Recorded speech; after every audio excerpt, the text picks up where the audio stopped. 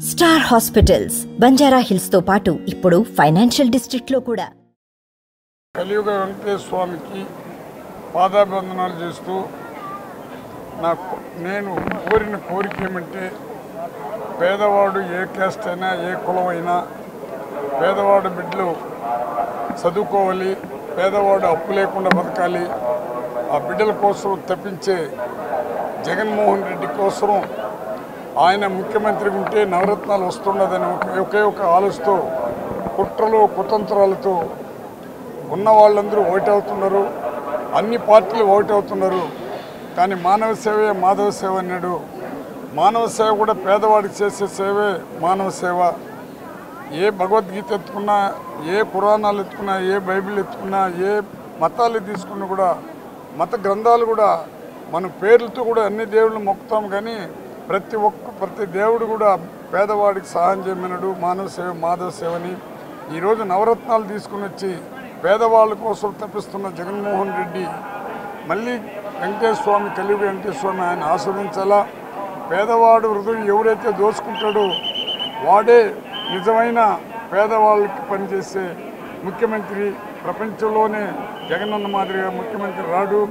ఆయన పైన కుట్రలు కుతంత్రాలు రకరకాల అసూయ అన్ని రకాలు ఒకటి ఉన్న వాళ్ళందరూ ఒకటి అంటున్నారు.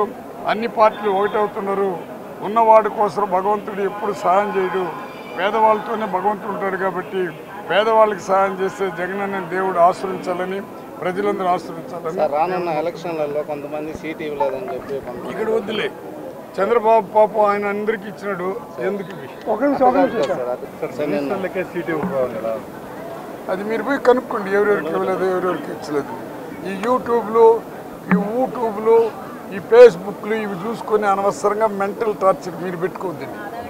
ఆయన డిసైడ్ చేస్తాడు ఏ విధంగా చేయాలని. ఎందుకంటే ఒకటి మాత్రం ఆలోచించండి. ఈ దేశాన్ని నాశనం చేయాలని వాళ్ళందరూ ఓటైనారు. ఈరోజు రాజశేఖర్ రెడ్డి వాళ్ళ ఆయన ఎఫ్ఐఆర్ పెట్టి కాంగ్రెస్ని తూలనాడి ఎఫ్ఐఆర్ పెట్టి సావకుడికి కాంగ్రెస్ ఏంటి? మన చంద్రబాబు నాయుడు అని మాట్లాడిన వాళ్ళందరూ కూడా ఈరోజు కాంగ్రెస్లో పోయి చేరి రాజశేఖర రెడ్డి పోటీ పెట్టుకుని ఓటు అడిగే కార్యక్రమాలు వాళ్ళు చేస్తున్నారు ఇక్కడేమో చంద్రబాబు నాయుడు ఏమో కాంగ్రెస్లో పనిచేసి రేవంత్ రెడ్డిని అక్కడ చేసినానని ఈయన పరుగులు పెట్టుకుంటాడు ఆయన పవన్ కళ్యాణ్ ఏమో అక్కడ బీజేపీతో కలిసినాడు.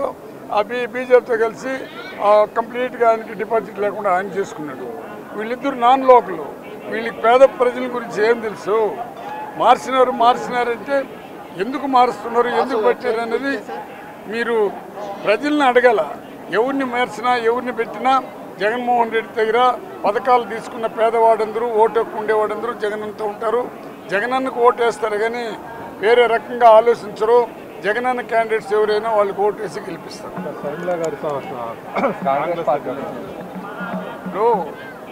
ఇది ఎట్లా అడుగుతున్నారంటే మీరు? ఎవరు ఎవరు కాంగ్రెస్లో చేరినా ఎవరు ఎవరు ఏ రకంగా పోయి నిలబడినా జగన్మోహన్ రెడ్డి దగ్గర పేదవాళ్ళు ఉండరు కూడుగుడ్డు లేని వాళ్ళందరూ నవరత్నాలు అనిపిస్తూ ఉండాలో అంత ఉండరు. కుల వ్యవస్థ మత వ్యవస్థ పార్టీ వ్యవస్థ లేకుండా పేదరికమే తన ఆయుధంగా తీసుకున్నాడు. పేదవాడు ఆకలితో ఉండకూడదు. పేదవాడు అనే వ్యక్తి ఎటువంటి పరిస్థితుల్లో విద్యావంతులు కాకుండా ఉండకూడదు? ప్రతి పేదవాడి బిడ్డలు కూడా కలెక్టర్లు కావాలా? మనం డాక్టర్లు కావాలా? బిజినెస్ పర్సన్స్ కావాలా? ప్రపంచమంతా తిరగాలని ఇంగ్లీష్ మీడియం తీసుకుని వచ్చిన వ్యక్తి ప్రజలందరూ ఆయన్ని గుండెల్లో జగన్మోహన్ రెడ్డిని నిజంగా అందరూ కూడా ఆయన్ని ఒక ప్రేమతో గుండెల్లో పెట్టుకుంటారు. కలియుగ వెంకటేశ్వర స్వామికి కూడా తెలుసు అన్ని మతాల్లో ఉండే దేవుడికి తెలుసు. ఖచ్చితంగా ఎన్ని మంది ఎన్ని చేసినా ఎన్ని కుట్రలు పడినా జగన్మోహన్ రెడ్డిని మాత్రం ఎవడు ఓడించలేడు ప్రజలు నమ్ముకున్నాడు దేవుడు నమ్ముకున్నాడు. జగనన్న పొత్తు ప్రజలతో పొత్తు. జగనన్న ధ్యేయం పేదవాళ్ళ అభివృద్ధి ధ్యేయం జగనన్న ధ్యేయం ప్రతి కుటుంబం పేదవాడందరూ ఇంగ్లీష్ మీడియం చదవాలి. ఉన్నవాడ బిడ్డలు ఇంగ్లీష్ మీడియం చదివేది కాదు పేద బిడ్డలు కూడా చదవాలి. అందరూ ఇప్పుడు ఎవరెవరు ఒకటే అవుతున్నారో వాళ్ళ బిడ్డలంతా ఇంగ్లీష్ మీడియమే చదివినారు. పేదవాళ్ళ బిడ్డలు ఇంగ్లీష్ మీడియం చదవాలంటే కడుపు గాలి అవస్థపడుతున్నారు. జగన్మోహన్ రెడ్డి పొత్తు వచ్చి ప్రజలతో ప్రజలతో పొత్తు. జగనన్న పొత్తు ప్రజలతో పొత్తు. నేను చెప్తాను కరెక్ట్గా చెప్తాను. నేను చెప్పకుండా ఎవడికి భయపడేవాడు కాదు. ఆత్మాభిమానాన్ని వ్యక్తం పోను.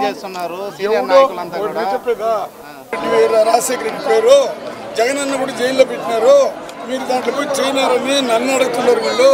దానికి నా జవాబు అంటే ఆమెనే అడిగి మీరు మీరు తెలుసుకోండి అని నేను చెప్తున్నాను. ఓకే సార్ అంతే కదా? ఇది సార్. ఏముందియా? ఇంకేం సార్ చెప్పాలా? అంతే సార్. ఎట్టెట్నో లాగుతారు మంచిగా పోవాలని లాగకుండా వదలరు. నువ్వు తీసినవే అమ్మది నువ్వు తీసినావు నేను చెప్పింది ఇప్పుడు కాంగ్రెస్ పోయింది కాంగ్రెస్ పోయింది ఆమె ఇష్టం అడిగి పోయింది వాళ్ళ నాయన పైన ఎఫ్ఐఆర్ ఉంది జగనన్నని జైల్లో పెట్టాడు సోనియా గాంధీని ఎదిరించినాడు జగనన్న వచ్చి బయట వచ్చినాడు ప్రజల చేత ఎన్నుకోబడినాడు ప్రజలు ఆయన్ని ముఖ్యమంత్రి చేశాడు ఇచ్చిన మాట తప్పకుండా ఆయన అందరికీ నెప్ప- తొమ్మిది నవరత్నాలు గెలుస్తున్నాడు షరీములామన్ గురించి నన్ను అడిగేదానికన్నా ఆమె దగ్గరికి పోయి మీరు నాకు వేసిన క్వశ్చన్లు అక్కడ ఓకే సార్. మరిన్ని వీడియోస్ కోసం ఛానల్ సబ్స్క్రైబ్ చేయండి. లేటెస్ట్ అప్డేట్స్ కోసం వాట్సాప్ ఛానల్ ఫాలో చేయండి. అండ్ లింక్ డిస్క్రిప్షన్లో ఉంది.